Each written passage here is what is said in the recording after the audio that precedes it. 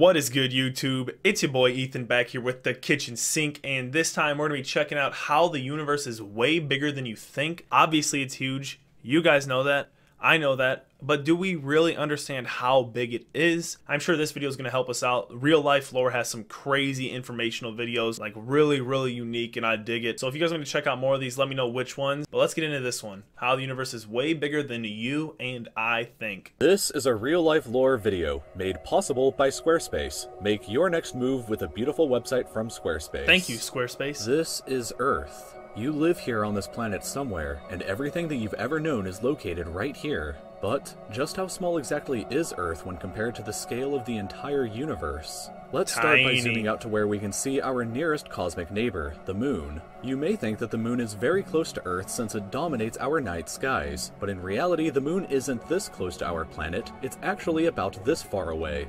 384,400 kilometers away from you right now on average. You could fit 30 Jeez. entire Earths in between this distance, and if you somehow were able to drive a car at a constant 100 kilometers per hour speed, it would take you about 160 days to drive the entire distance. Oh Despite my this incredible God, distance, however, 12 humans have actually set foot here, representing the furthest away that any individual human has ever been away from the Earth, and one of humanity's greatest achievements. This is what the Earth would look like from there if you were standing there with them. There's only been and if 12 you wanted to history, communicate man? with somebody back at home, there was it more would than take a message about two and a half seconds to travel between you and them, since that's how fast the speed of light can travel at. This is a photo that was taken on Mars, and that tiny dot that you see there is Earth as seen from the Martian surface. On average, Mars is an incredible 225 million kilometers away from Earth, but that distance can be as high as 401 million kilometers. That means that whenever humanity finally gets around to landing a human on the planet, that person will be 986 times further away from Earth than the astronauts who landed on the moon were. In addition, the time delay for sending a message from Mars back to Earth isn't just two and a half seconds, it's actually more like 20 minutes each direction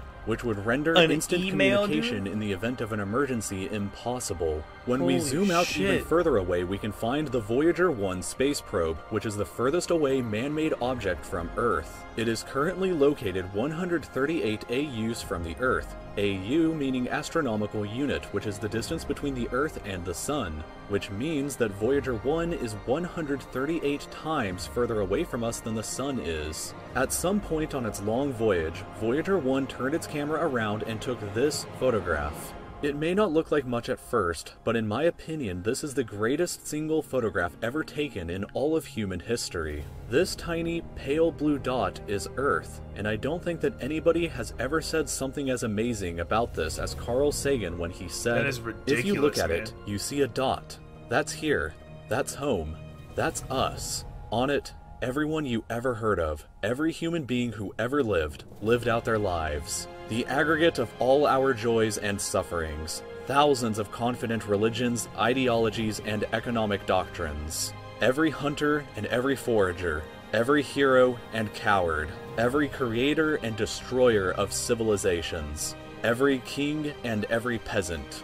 Every young couple in love, every hopeful child, every mother and every father, every inventor and explorer, every teacher of morals, every corrupt politician, every superstar, every supreme leader, wild every think, saint man. and sinner in the history of our species lived there, on a mote of dust suspended in a sunbeam.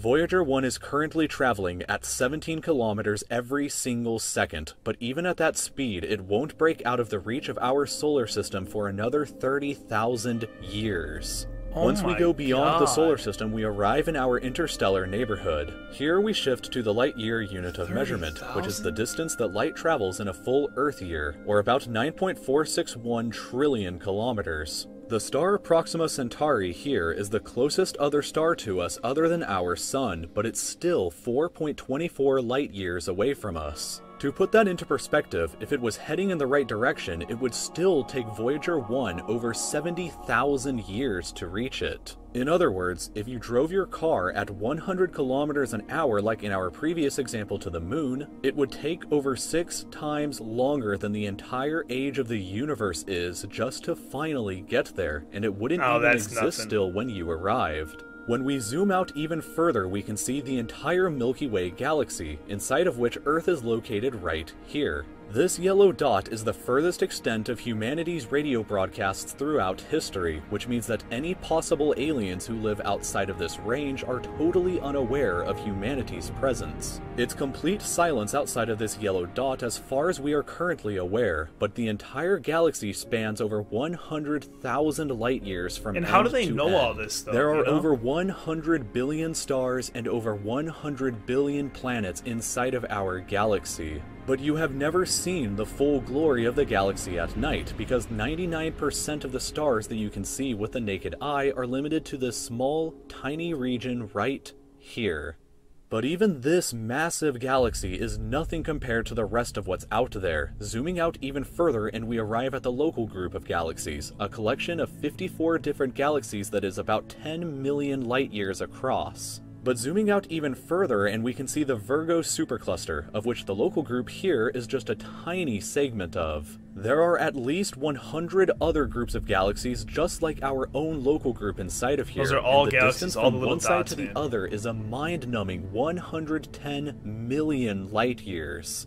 But even the massive Virgo supercluster is nothing but a quiet and tiny lobe of the great Laniakea supercluster, an enormous structure that is home to our galaxy as well as 100,000 other galaxies. The distance from one side to the other is 520 million light years, but from even there we can zoom out all the way to the entire observable universe and see that even the titanic Laniakea supercluster is just a tiny and insignificant part of everything. This is the observable universe, and it contains everything that we know of. It is home to at least 2 trillion different and individual galaxies, which together contain There has to be more aliens, stars man. than Like, there are grains if you don't of believe in sand aliens, on I the think you're psychotic. Earth. The distance from Earth to any side of the observable universe is 46.5 billion light years, which means that the entire width is 93 billion light years across. What's perhaps even more interesting, however, is what actually lies beyond the observable universe. Keep in mind that the observable universe is all that we can currently see, and it's entirely possible that the rest of the universe outside of it is vastly larger and more fantastic than we can possibly ever imagine. We simply don't know what else is out there because the light from these incredibly distant places has not yet had enough time in the universe's history to reach us yet back on Earth, and the light from some places may never reach us at all.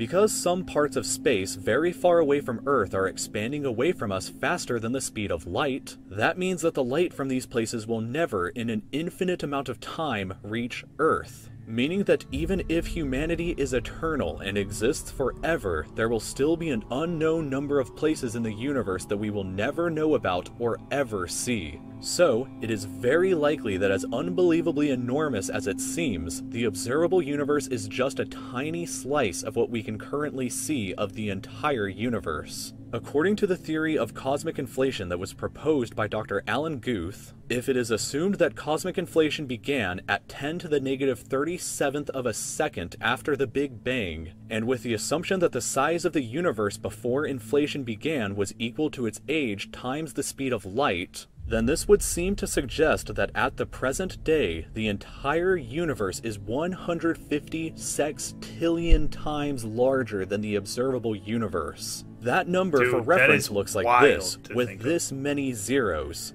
Let this number sink in for just a moment. This would be similar to you thinking that the entire observable universe, everything that you could see, was the size of a light bulb, but then realizing that in reality the entire universe is larger than the former planet of Pluto. Imagine a light bulb in the center of Pluto, but we inside the light bulb were totally unaware that Pluto existed outside of it, and that's a similar situation to this. We are all so unbelievably small, but you shouldn't worry because all that means is that there is so much left out there for us to discover together. That is wild. This video was made possible by Squarespace. Thank you, if Squarespace. you're wanting to I appreciate you sponsoring that video because that was freaking amazing to watch. Wow, you kind of get lost in all of it because it's so much information coming at you, you know? But there we have it. That is how the universe is way bigger than you think. 150 sextillion bigger than what the observable universe is, and it's already like Jesus amounts of light years. Like, what the fuck? How much life do you guys think is out there, man? Here's my question to you. If you made it this far in the video, down below, do you believe in aliens or not?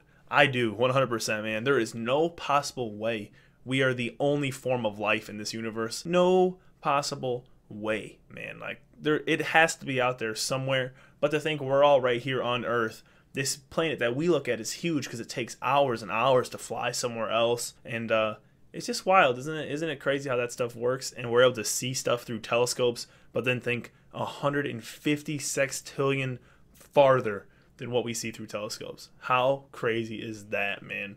Let me know some more suggestions down in the comments. I'm open to them. These videos get me so hyped because you learn so much new stuff, and I'm all about learning and comedy. Let me know some comedy ones too if you want. But until next time, peace. Have an awesome day.